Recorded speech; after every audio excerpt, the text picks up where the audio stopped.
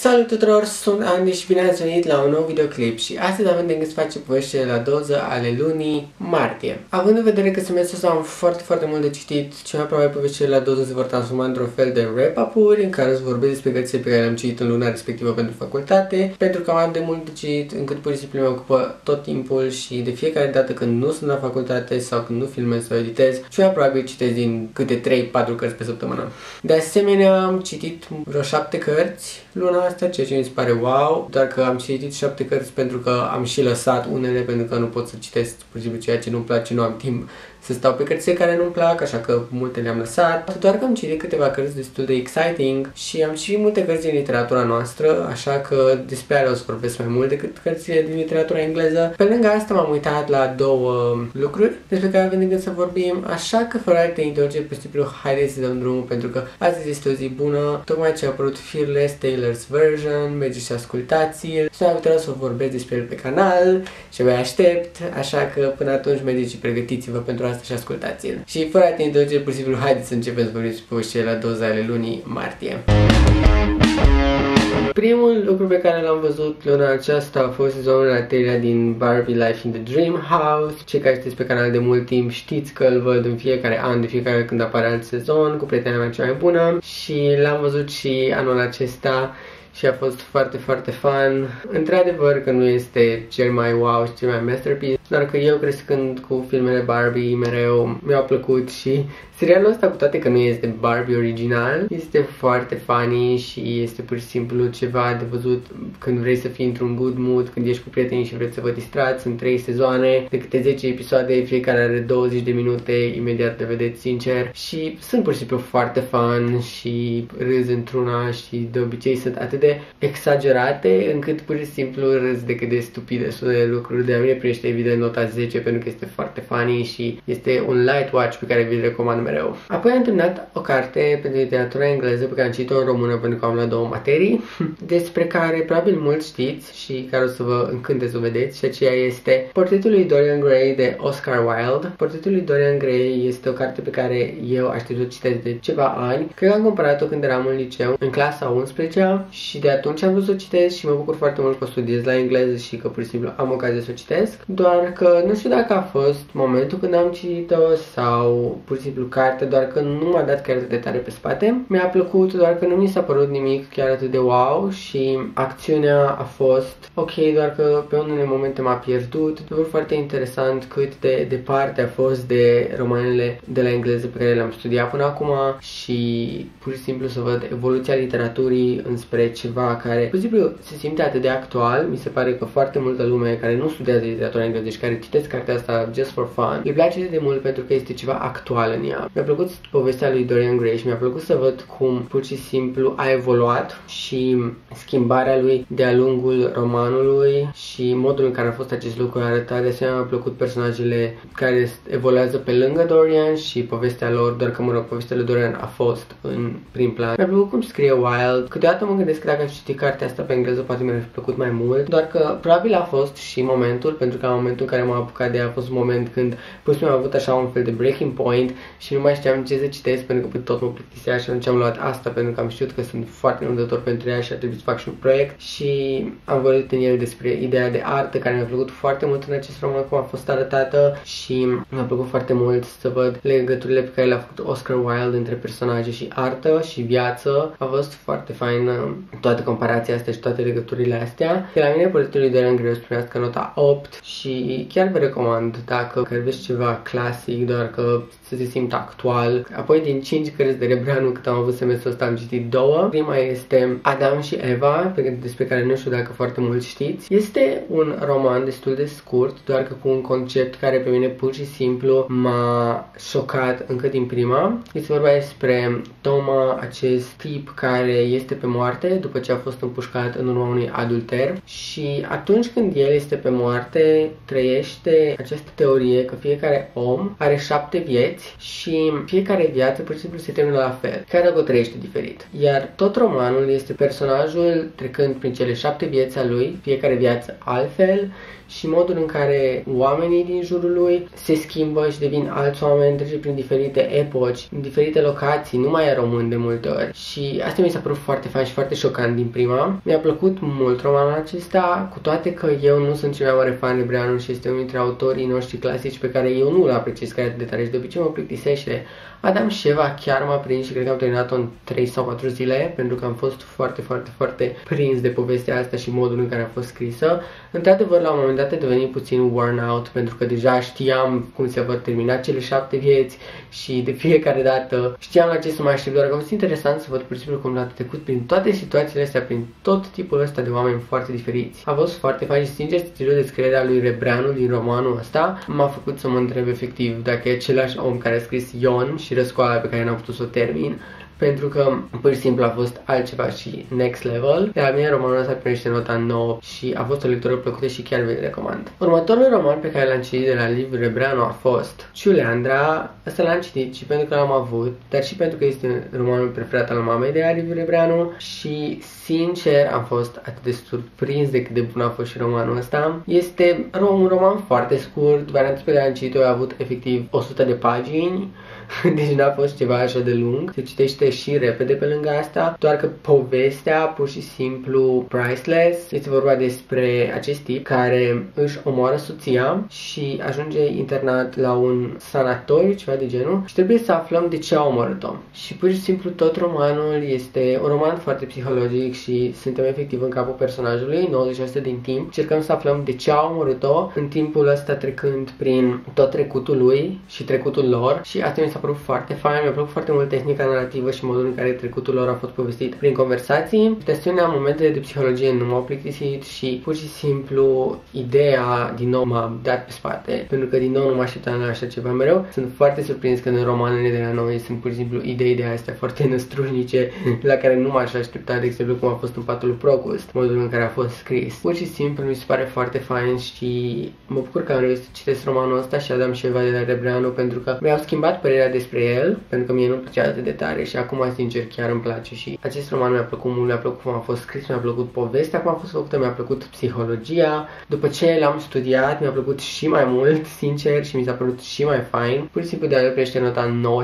9.50, singurul motiv pentru care nu-i dau 10 în cap este pentru că la unele momente m-a pierdut și m-a plictisit, doar că, overall, sincer, este o capodoperă și ar trebui să o citiți. Apoi am terminat de văzut al doilea lucru de luna aceasta și acela a fost sezonul al doilea din Selena Plus Chef, emisiunea în care Selena gătește în fiecare episod cu alt bucătar și în care la final donează bani pentru o asociație și mi-a plăcut sezonul ăsta mai mult decât primul, sincer. Mereu îmi place acest show pentru că o arată pe Selena într-un mod în care nu o vezi mereu, adică cu toții știm despre că este foarte kind și dulce și amabilă, doar că pur și simplu mi se pare că Selena Plus Chef o arată efectiv ca om și arată toate greșelile mereu mi s-a părut foarte amuzant să văd cum face toate mâncărurile astea de care ne-ai auzit niciodată sau combinațiile astea de care ne-ai auzit niciodată, care sunt făcute de șef experți și ea ba le greșește, ba face aia, ba face aia, deși este mereu foarte funny, sincer este atât de light-hearted și vă pune într-un așa good mood, încât, sincer, dacă nu sunteți fani, vă recomand să vă uitați la și mai ales dacă vă plac cooking show-urile, pentru că este foarte fun și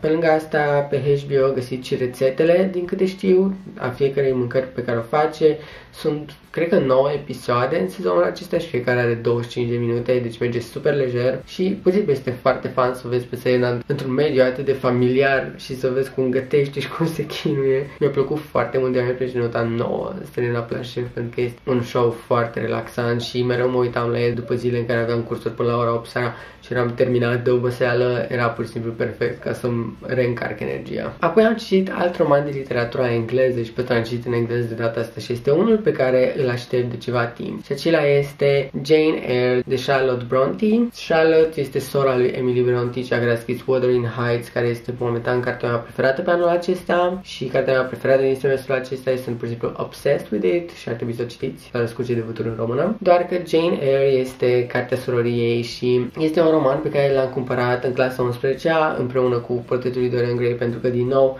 am vrut să-l citesc neapărat. Mi-a plăcut și acesta, nu chiar la fel ca Wuthering Heights care m-a dat pe spate, mi-a rupt sufletul, mi-a rupt tot. Wuthering Heights este mai mult tipul meu de roman decât Jane Eyre, doar că și ăsta a fost foarte frumos. Romanul acesta este un Bildungsroman, este un roman care pur și simplu urmărește personajul principal pe Jane Eyre. De când era foarte mică, cred că 10 ani, până ajunge adultă la 30 de ani și ăsta este un lucru pe care trebuie să știți înainte să o apucați de roman, pentru că că asta înseamnă că o să fie destul de slow. Asta a fost una din problemele în care m-am luptat eu citind romanul, pentru că în unele momente mi s-a părut foarte slow și nu mai aveam răbdare cu acțiunea și simțeam că mi-au 100 de ani să termin unele lucruri, doar că sincer a fost worth it. Este o carte care se bazează extrem de mult pe personajul principal. Personajul principal este pur și simplu in the spotlight și toate celelalte personaje sunt în jurul lui și gravitează în jurul lui. Pe lângă asta este un roman la persoana întâi și este la persoana întâi numai din perspectiva lui Jane, deci efectiv tot vezi numai prin ochii ei și prin perspectiva ei și atunci mi-a plăcut foarte mult și pur și simplu mi-a plăcut să o văd pe Jane Eyre crescând. Pentru că